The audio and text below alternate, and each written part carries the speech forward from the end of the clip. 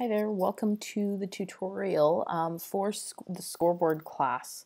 Um, we have gone over this a couple of different times in different projects so far, um, but if you are still finding that you're quite unfamiliar with it, we're going to go over that now.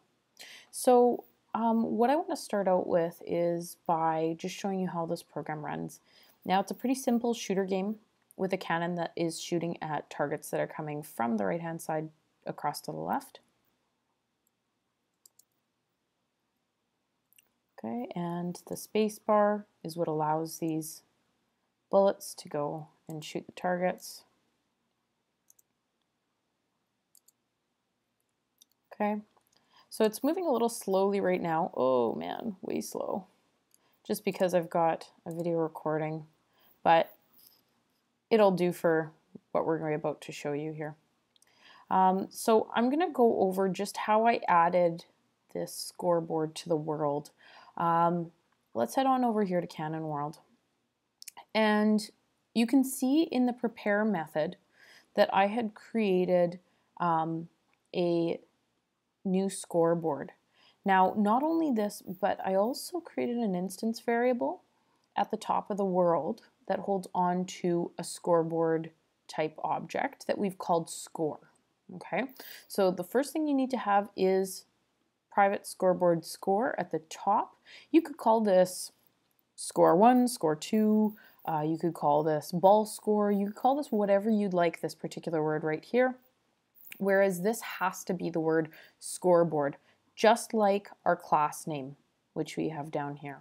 Okay, so keep that in mind. This is the size of container we need for scoreboard, and this is the name that we've given the container. And then, of course, when we make this container, it's empty. So we've got to add a scoreboard to put into that container by saying new scoreboard and then adding that object to the world. And we've done that all in the prepare method, which uh, is called by the Cannon Worlds constructor. We know it's a constructor because it starts with um, public and it has no return type and it has the same name as the class, including that capital letter C. Okay, so we've got that scoreboard added to the world, which is great. So now, the problem of trying to actually increase the scoreboard, a lot of students have problems with this because it's more than a one-step problem. So what we need to do is we need to look at the scoreboard class and see what it provides for us to actually add to it. So let's head over to scoreboard. Now, I've just copied and pasted the scoreboard class from another tutorial, um, probably from your Frogger tutorial, that would work well. And you can see that we have a constructor that initially sets the points to zero, then creates a new Greenfoot image that is 100 pixels by 30 pixels tall. It draws a string, right? So a set of um, characters, okay? Draws out the word score with a space and then the current points, which is right here. So this points variable is keeping track of the points that are being added to the scoreboard. And then this just says where to draw it inside this Greenfoot image. And then of course we set the image. So that's what happens initially. Now there's one, only one other thing in the scoreboard class, and that's the add to score method. So whenever we want to add to score, we actually just call this public method. It'll add one to points it will get the current image that is of the or that the scoreboard is. It'll clear that image. And then if we are at less than five points, we are going to draw out the word score again, print out the word point or the amount of points, and of course at 525 in the Greenfoot image, of course. And then if it doesn't equal less than five, that means we must have won the game. Okay, so therefore it draws out the string says you win. So we're going to look at how not only can we call that, but how we can manipulate that so that our score is slightly different. Um, and we're also going to look at how we can create kind of a subtract from score method as well. So we'll get out of this. So let's see what we can do here. So the first place we want to go is the place where the user ends up getting a point.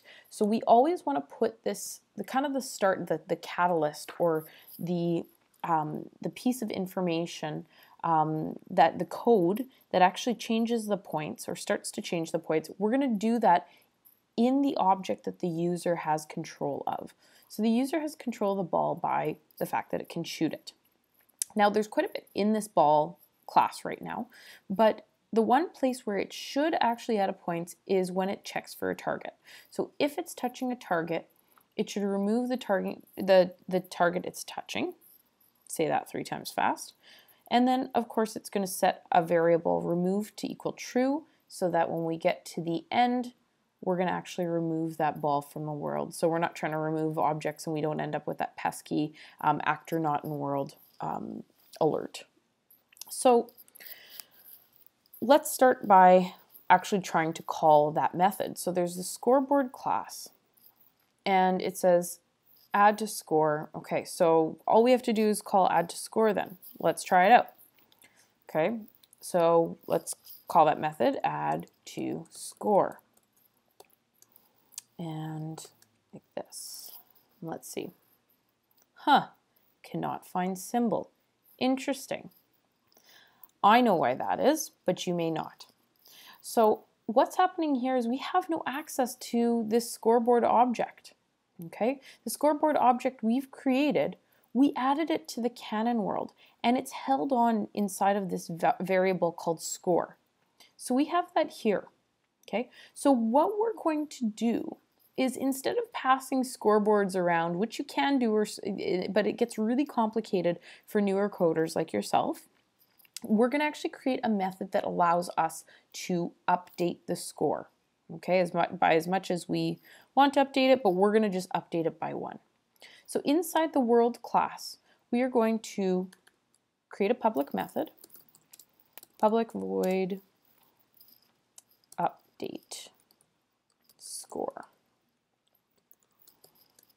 Okay, and inside this method, what we're going to do is we are going to type the name of the container that is holding our scoreboard currently. We're going to say dot add to score. Okay, so we're calling the method in the scoreboard class from Cannon World. Okay, now, the, like I said, the reason we can do this is because we're Cannon World actually hold on to the scoreboard itself.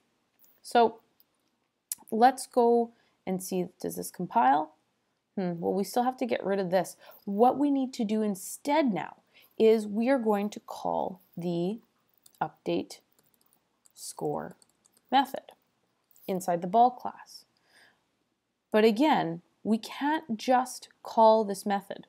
This method is not available in this class.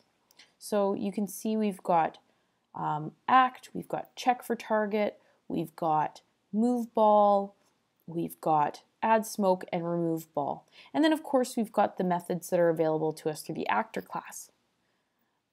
But what we need to do is we need to get something that is available in the world class, the world that we're currently in. So we can actually use the get world method, which will return the world to that particular spot, and then say dot update score. Let's try that. Hmm, can't find update score. Huh, well, I'll tell you why this is. The next part of this is the fact that, okay, so we're getting the world. Great. Get world returns a world object. It doesn't return a cannon world object. We need to use casting to tell it that we need a cannon world object. So we are going to hit, give it a bracket, and then type in Cannon world. Okay, and then we're going to type another bracket around here. And like I said, this is called casting. Okay, so it creates, takes this cannon, this get world object, okay, gets the world, and then it almost multiplies it by cannon world, but it not multiplies, it just casts it to become um, an actual cannon world, not just a world. So let's compile now. Class compiled, no errors, great. Okay, so let's see what happens to our score. Okay, here's it comes a target. We try to shoot at it. Yes, point. Still working? Great. Great. Awesome. Fabulous. So that works. Okay, so what about the more complicated situations? Like, oh, I actually want my points to be able to go to 15 or 20. What we can do is go into the scoreboard class and we can change this add to score method to check for a different amount. Um, so if we wanted it to only go up to, let's say, only, they only need three points, or the, the game only needs three points, um, or the sorry, the user only needs to get three points to win the game. And we can say while points is less than three, keep drawing out the score. Otherwise, make it say you win. And you know, we'll even put Greenfoot dot stop. Awesome. Let's try it out. So the game should stop once I hit three times. I win. Fabulous. Okay, super duper. So that's kind of how this whole score thing works.